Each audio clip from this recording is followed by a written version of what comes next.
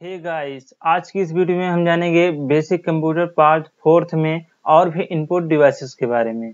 तो चलिए अपने वीडियो को स्टार्ट करते हैं बिना देर किए हुए। वीडियो स्टार्ट करने से पहले आपसे एक रिक्वेस्ट है कि आप लोग वीडियो को लाइक कर दीजिए और चैनल को सब्सक्राइब कर लीजिए, ताकि हमारी और भी आने वाली वीडियो का नोटिफिकेशन आपको मिलता रहे।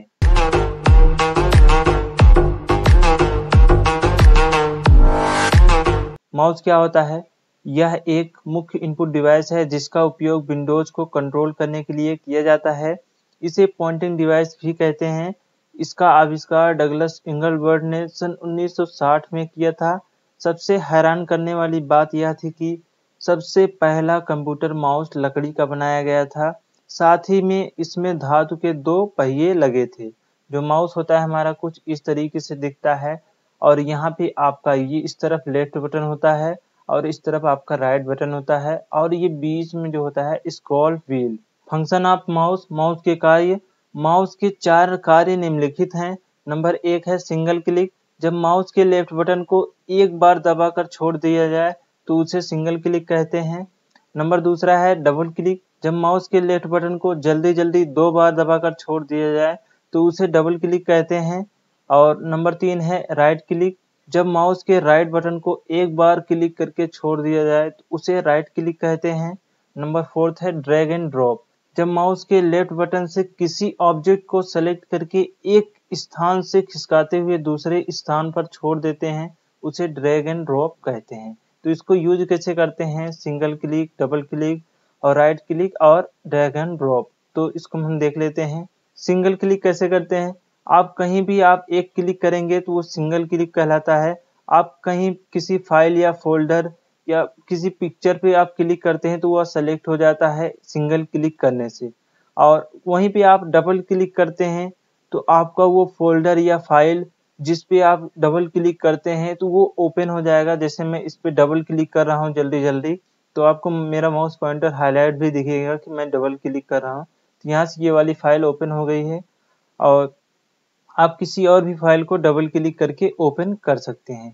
तो यहाँ पे इस तरीके से ओपन हो जा रहा है और तीसरा है राइट क्लिक आप डेस्कटॉप के खाली एरिया पे राइट क्लिक करेंगे। राइट बटन अपना माउस का कर्सर दबाएँगे तो यहाँ पे कुछ ऑप्शंस मिलेंगे। तो यहाँ से आप रिफ्रेश भी कर सकते हैं और यहाँ से ढेर सारे ऑप्शन यूज़ कर सकते हैं। और किसी फ़ाइल या फोल्डर पे राइट क्लिक करेंगे तो उसकी प्रॉपर्टी देख जाएगी, इसे ओपन करना है प्रिंट करना है एडिट करना है। यहाँ पे ढेर सारे ऑप्शन दिख जाएँगे। यहाँ से कट कॉपी डिलीट रेनेम या इसकी प्रॉपर्टी भी चेक कर सकते हैं।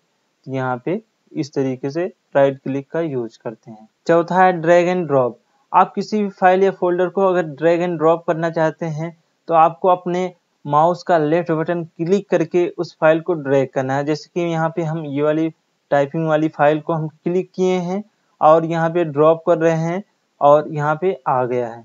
इसी तरीके से कोई और फ़ाइल या फोल्डर को हम ऐसे इस तरीके से कर सकते हैं। ये ऑप्शन कभी यूज़ होगा।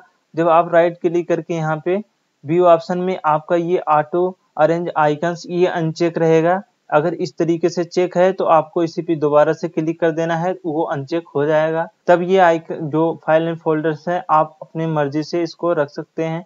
अगर ये ऑप्शन चेक होता है तो यहाँ से अपने आप ऑटो अरेंज कर लेंगे। तो अब चलते हैं यहाँ पे नोट्स में आगे। ये नोट्स जो है आपको नीचे डिस्क्रिप्शन और टेलीग्राम चैनल पे मिल जाएगा। नंबर तीसरा है स्कैनर यह एक मुख्य इनपुट डिवाइस है जिसके द्वारा हम डॉक्यूमेंट्स या फ़ोटो को स्कैन करते हैं और कंप्यूटर मेमोरी में सुरक्षित या सेव करके रखते हैं। तो स्कैनर जो होता है हमारा इस तरीके से होता है। नंबर चार पे है जॉयस्टिक इसे पॉइंटिंग डिवाइस भी कहा जाता है। मुख्य रूप से इसका प्रयोग कंप्यूटर पर गेम खेलने के लिए किया जाता है।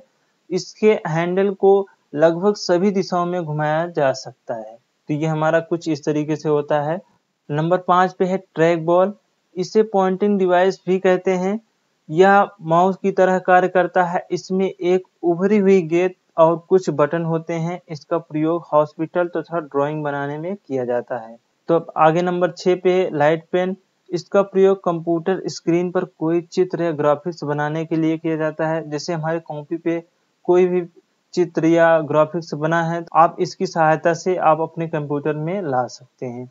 नंबर सात पे है ओएमआर ऑप्टिकल मार्क रीडर यह एक ऐसा डिवाइस है जो कागज़ पर किसी भी पेन या पेंसिल से लिखे गए चिन्हों की उपस्थिति तथा अनुपस्थिति की जांचता है। इसका उपयोग प्रतियोगी परीक्षाओं की पुस्तिकाओं को जाँच करने के लिए किया जाता है, जो हमारी एग्ज़ाम होते हैं ओ एम आर पे तो इसी मशीन से हमारा जो है, चेक किया जाता है।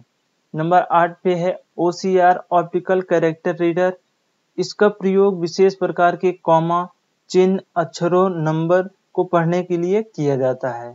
नंबर नौ पे है B C R bar code reader. एक होता है क्यू आर कोड वो अलग होता है और B C R bar code ये अलग होता है। आजकल सामानों के ऊपर काली मोटी पतली लाइन बनी होती है, जिन्हें बार कोड कहा जाता है, जिसे रीड करने के लिए बी सी आर की आवश्यकता होती है। और नंबर टेन पे है M I C R magnetic ink character reader इसका प्रयोग चुंबकीय स्याही को रीड करने के लिए किया जाता है। इसका अधिकतर प्रयोग बैंक या पोस्ट ऑफ़िस में किया जाता है। इसका उपयोग ज़्यादातर चेक वगैरह को रीड करने के लिए। नंबर ग्यारह वेब यह एक हार्डवेयर इनपुट डिवाइस यंत्र है। इसका प्रयोग वीडियो रिकॉर्डिंग या वीडियो कॉलिंग में किया जाता है।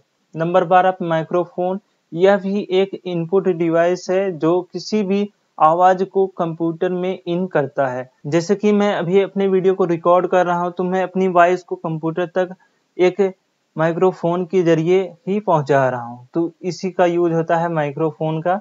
और नंबर तेरह पे है टच स्क्रीन। यह भी एक मुख्य इनपुट डिवाइस है जिसे यूज़र अपनी फिंगर से टच करके डेटा को इन करता है।